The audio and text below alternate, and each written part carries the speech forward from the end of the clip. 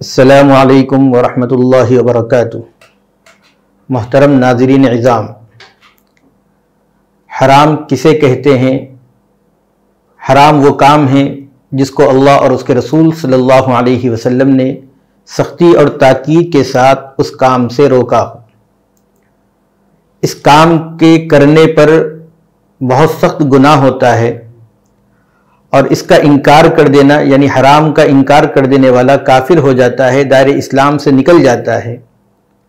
और जो शख्स हराम काम का इरतकब करता है, वह अल्लाह के आदाब का मुस्तक होता है।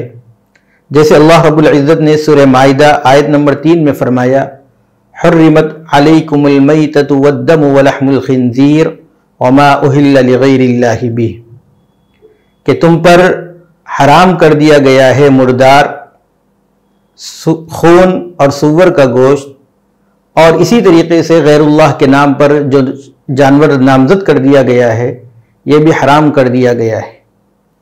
इसलिए हराम से अपने आप को बचाना चाहिए, हराम के करीब भी नहीं जाना चाहिए। जैसे अल्लाह रब्बुल इज़्ज़त ने कुरान मजीद में झूठ से मना फरमाया है, जिना से मना फरमाया है, इनसे अपने आप को रोकना ज़रूरी है। अल्लाह रब्बुल इज़्ज़त हमें तोफ़ी अमल नसीब फरमाए।